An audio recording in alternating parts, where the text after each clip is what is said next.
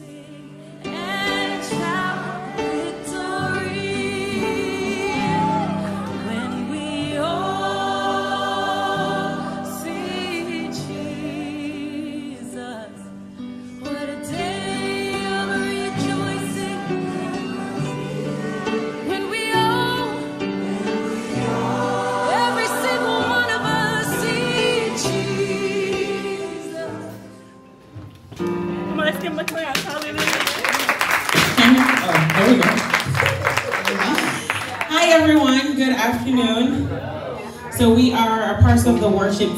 Faith Cathedral Deliverance Center located at 4425 North Powers Drive. And we will be,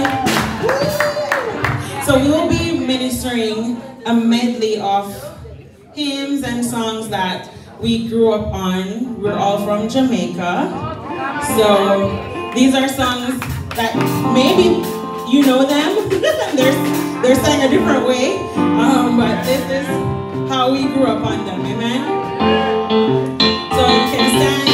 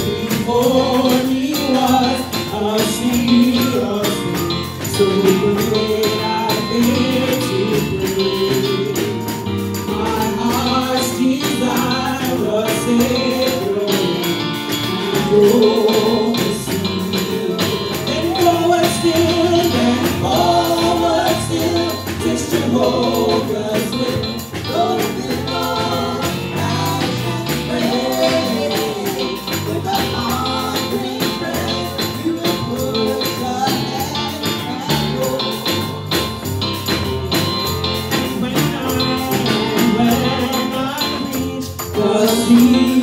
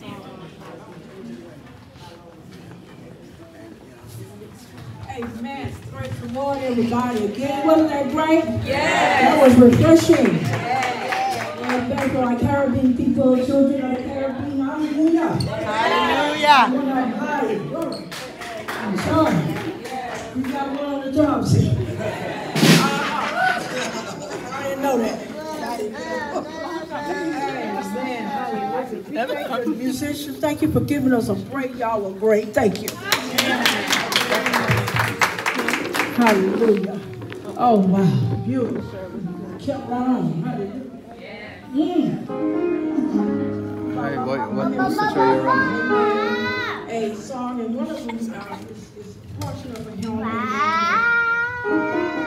My dad taught me way back, and it's a hymn. Amen. Back in the 80s, we used to sing with the plus one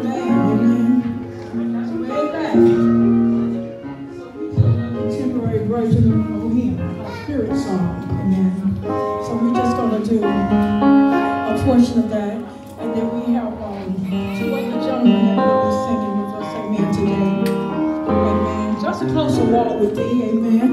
We're going to do arrangement of that very old popular hymn. Amen. That's going to be Elder Harold Armstead. Amen.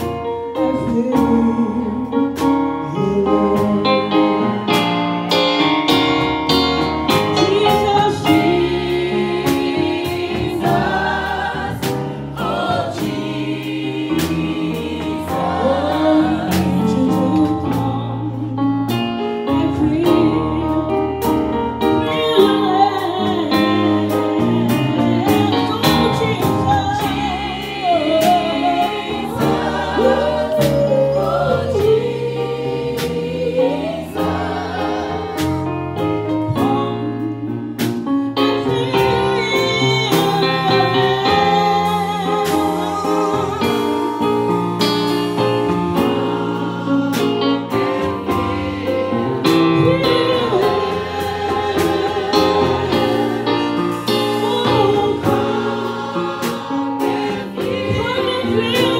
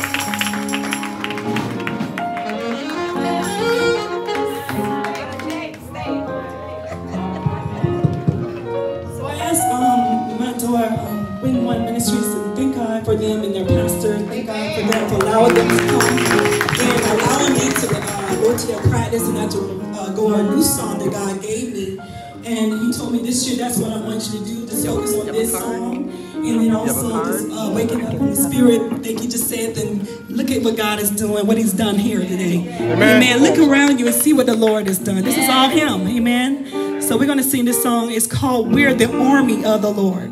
And I would like for Minister Valerie, First Lady Valerie um, Armstrong, she's going to help me lead the song. Everybody can praise God.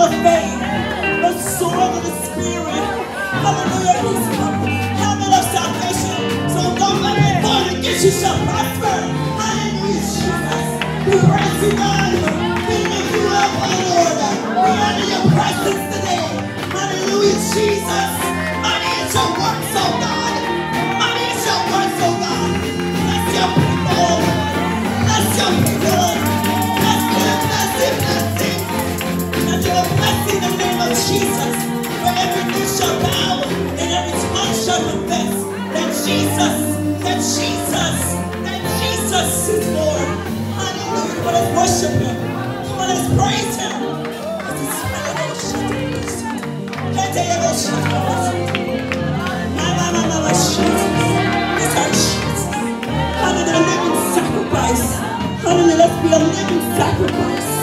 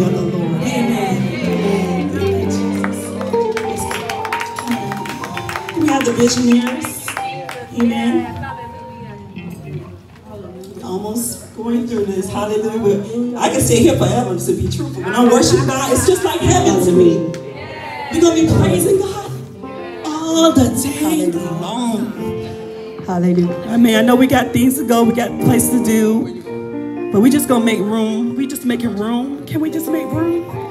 Okay. Hallelujah. Thank you. Hallelujah. Come on and let's remain in the spirit of worship. Hallelujah. Whoa.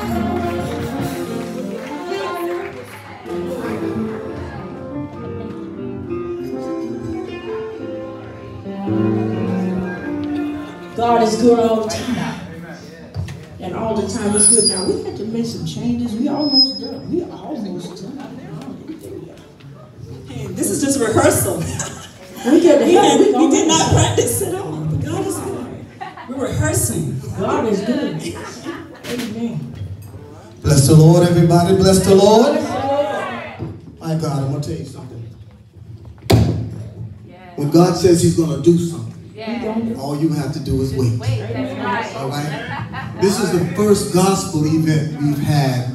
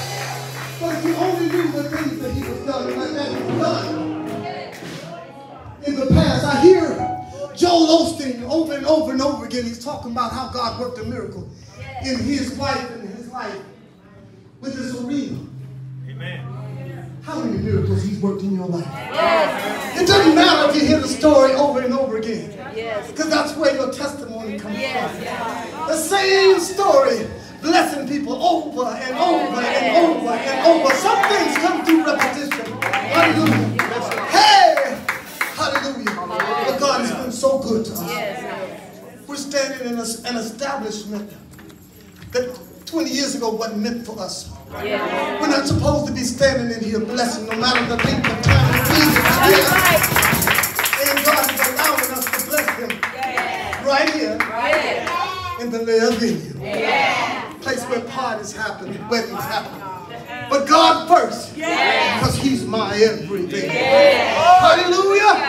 Somebody say hallelujah. Hallelujah. Hallelujah. Bless you. And you're always welcome here. Amen. Hallelujah. Hallelujah, bless his name. And we're to ask Overseer Michael to come, and he's going to give a word to us. If you just have a seat, and you're going to hear from the Lord. This day we hearing more and more and more. We just filling up and filling up and filling. Woo, thank you, Jesus.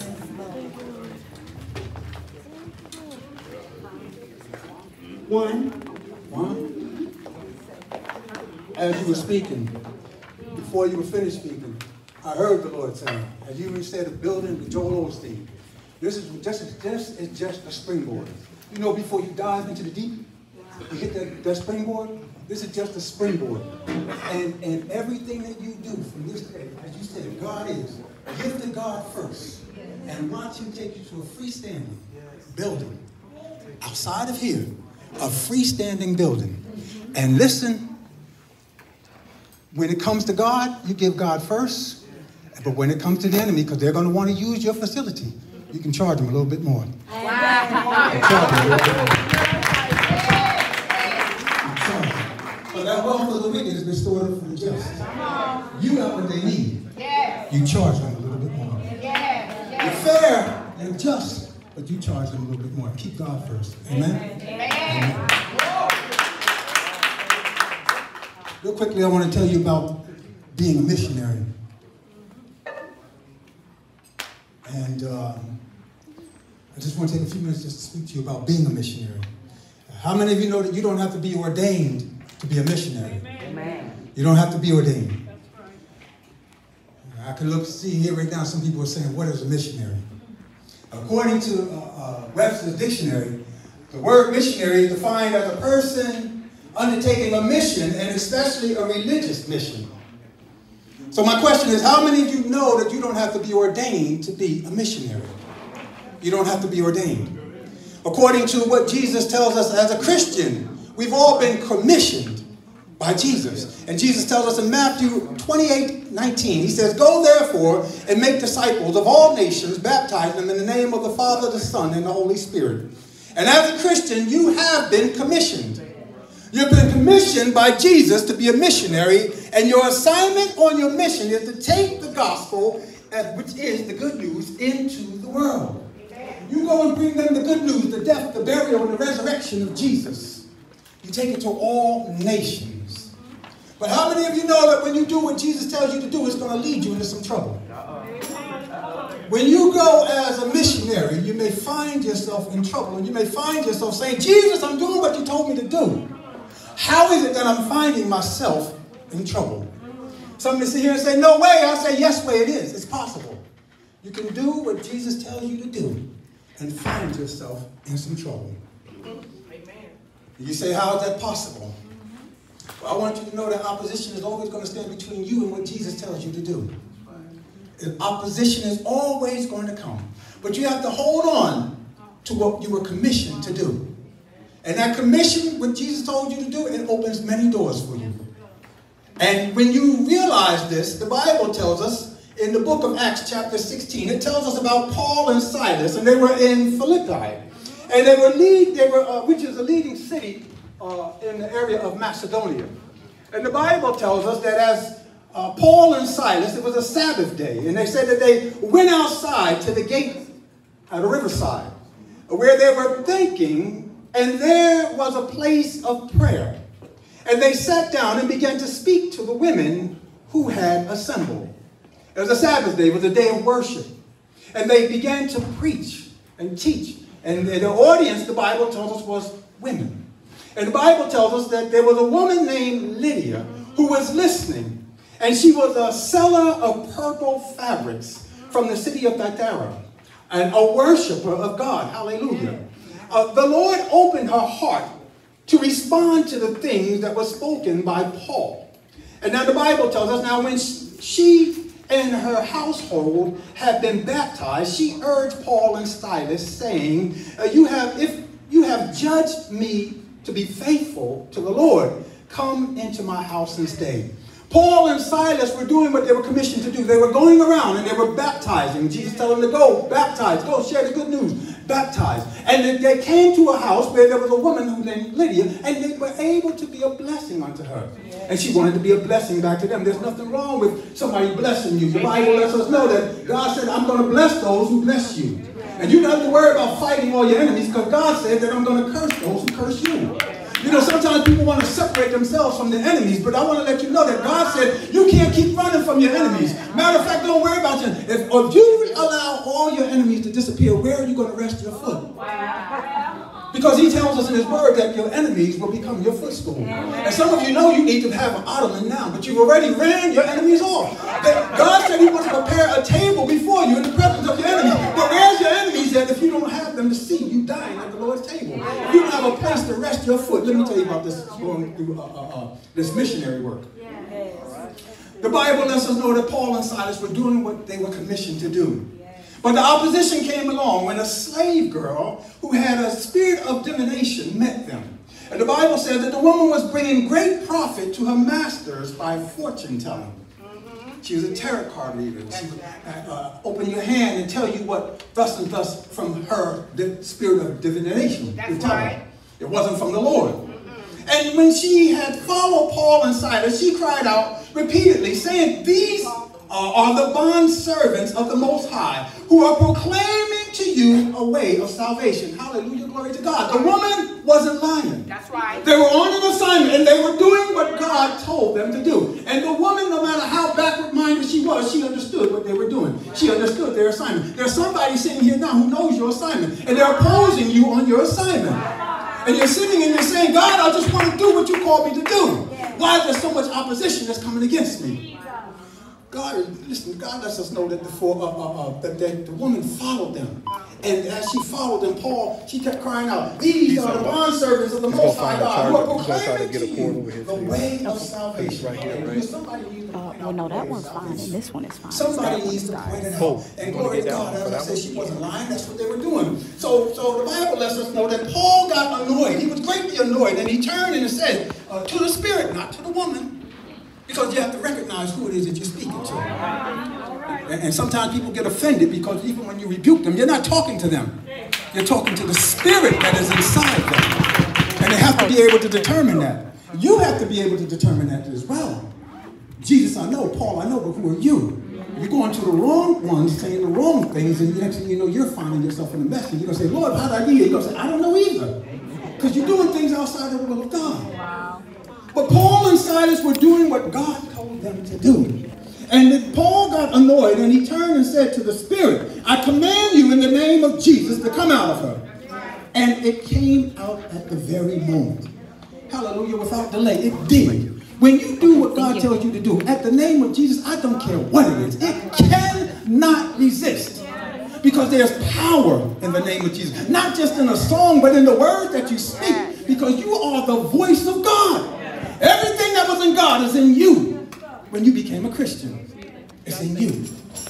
The Bible lets us know when the Spirit came out, but at that moment, her master saw that their hope of profit was suddenly gone. They seized Paul and Silas and dragged them into the marketplace before the authorities. And when they had brought them to the chief magistrates, they said, These men, Jews as they are, are causing trouble in our city. And they're proclaiming customs that are not lawful for us to accept, to practice, since we are Romans. Hallelujah, glory to God. The Bible lets us know, it says that uh, uh, the spirit in the woman, once Paul told her, he said, I command that spirit to come out of you. The spirit came out of her. And everybody that she was making money for found out they can't make any money off of her. Some people out here right now, I'm, I'm not calling names, you know what you do and how you do it, but you were a prostitute. All right, I was a prostitute because I've done things outside of what God, what God wanted me to do before I met God. And I made money for people doing things that I wasn't supposed to be doing before I met God. I prostituted myself in the areas of whatever it is that you want to put the label on. But at the same time, when you're thinking about my label, think about yourself because such was some of you until you were saved, until you were washed, until you were baptized, until you became a believer. So everything that you want to think that I was doing, think about yourself too. But the Bible lets us know that when they saw that they couldn't make any more money off of her, they dragged Paul and Silas into the into the marketplace and they began to beat them. The Bible says that they stripped them of their clothes and they beat them with rods and, and then they had them tossed into the uh, uh, inner into the inner part of the jail. When they had struck them with blows in prison, they commanded them into the prison and commanded the jailer to guard them securely. They weren't finished with them yet. There's still some more that they were going to do. And, and, let me let you know something. The Bible tells us that the jailer, he said, uh, uh, the jailer having received this command, he threw them into the inner uh, stocks of the prison and fastened their feet in the stocks. They weren't just on the outside, they were in the deep of the belly of the beast. They were there. And anybody else would have sat there right now and just hung their head down low. They would have began to cry out and said, Lord, I did all that you asked me to do. How did I end up in this pit? That's what Joseph said. Lord, I'm doing what it is you asked me to do. My brothers are hating on me. Why is it they hating on me? You're sitting here saying, God, I'm just going the path that you put before me. Why is there so much going on here before me? Why do I find myself in a prison? The Bible lets us know that, listen, hallelujah, Paul and Silas, the Bible tells us in Acts 16, 25, the Bible says, now about midnight, Paul and Silas were praying and singing uh, hymns of praise to God, and the prisoners were listening to them. How many of you know that when you begin to pray, wherever it is you are, somebody's listening. Somebody's watching you even now, knowing the path that you're on, knowing how many times you've been knocked down. When is she going to get back up? If he got enough strength to get back up, will he just curse God and die? That's what they're waiting to see you do, even in the prison where they are in chains with you. But I want to let somebody know today that at midnight, the Bible says around midnight, midnight can be any time of the day where you are. And because wherever it is you are, you might be in a self-centered prison right now. You might be in a prison of your own mind. But when you begin to sing and praise God, when you begin to pray and worship God, the Bible tells us, not what Michael's saying, but this is the Bible says. And as they began to pray, the Bible says that the chains fell off. And suddenly there was a great earthquake. So the foundations of the prison were shaken. And immediately all the doors were open and everyone in their chains were unfastened.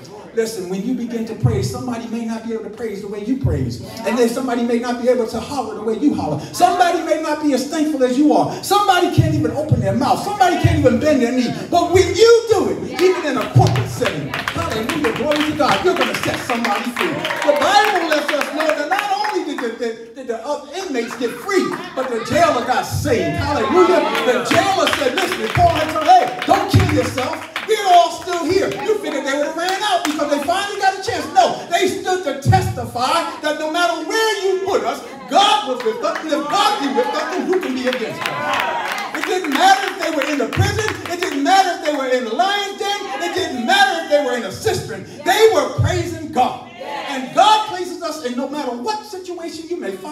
Yourself in now. If it's the Lord who led you there, he's going to lead you through it too. Nobody wakes up in the morning and says, Lord, here I am. Send me into the wilderness. I want a test. Nobody. But the Bible lets us know that when you said yes, matter of fact, when did Jesus first get his test? After his baptism. And what did the scripture tell us? He was led into the wilderness by who? By the Spirit of God. For what? To be tried and to be tested of the devil. God told the children of Israel in Deuteronomy chapter 28, He said, I led you into the wilderness for what? To try you, to test you, to see what's in your heart. And then any time when you find yourself in a wilderness experience, you find yourself inside of a prison, I don't care where it is, you begin to reflect on God. You begin to look at yourself and line yourself up with the word of God. And then you sit there and you just start to praise God. Praise God even if the shackles are on. Praise matter what it may be, because that's the only way you're going to get out. The Bible didn't tell us that the jailer came and gave a key and said, Here, go and lock your friends, everybody get out. No, they knew God. And they began to praise God. And no matter what your situation is, no matter where you may be, if you're, because this is what's going to happen in life. Either you're on your way into the prison, you're in the middle of the prison, or you're coming out of the prison. But anywhere you are, you're supposed to praise God for where you are. If He led you to, He'll lead you through it. Amen? That's about being a missionary. Amen? Amen. May God bless you. You,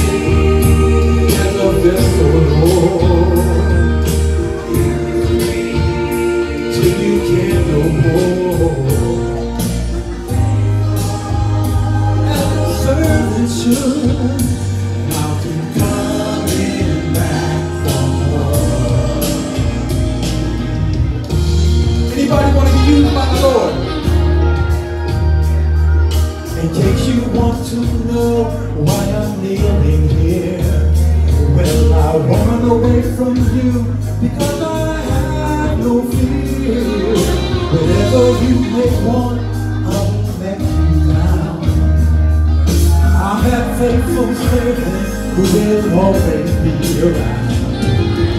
You ever faithful Lord.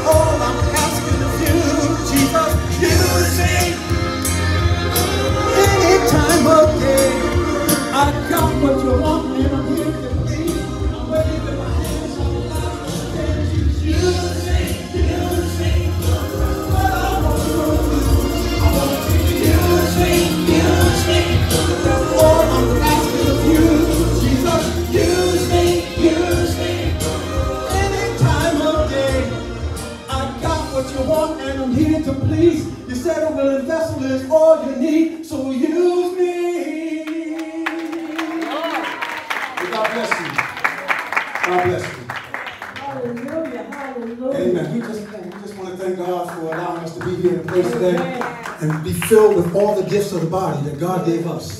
He placed us here. And we all found it not of ourselves to come to fellowship, to come and rejoice, to come to break bread, just to come to be in the Lord's presence. And this, the best thing about this is because those who came, speak for those who came. For those who came, you thought not of yourself, because some people only believe that the gifting belongs inside a building that they call a church. But you know that you are the church. And wherever you go, the Spirit of the Lord goes in you. There are a lot of empty buildings, but people are saying, I'm going to go there on tomorrow because the the Lord's going to be there. No, the Lord is only going to be when you get there because He's in you. So wherever it is you go, this is the church here today. We are the church. And I thank you all for being able to come out to share with this uh, experience here today. I, I know it's not going to be the last of it. I can believe that already in my spirit. And I just thank God for anyone who thought not of themselves to come. It's a sacrifice. Anything in ministry is a sacrifice. And you think not of yourself to do it. And God is a rewarder for those who diligently think not even of themselves. He'll reward you for everything that you do. It may not come in money, but he's going to reward you. Maybe you'll get an extra gift. Maybe you'll receive more spirituality. Maybe, I don't know, that's God's business. But I'm telling you that he will reward you for what you do for him. Amen? Amen.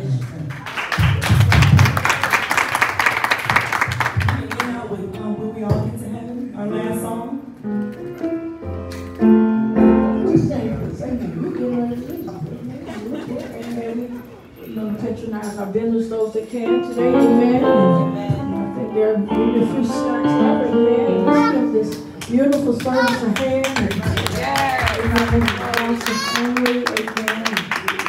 Amen. Just saying, talking to, God bless you. Thank you for all you've done and to all of our singers that participated. Our musicians were just dynamic. Amen. Few of us still hanging out, we can try to say amen. Amen, bless you, amen, they had to leave, but I think some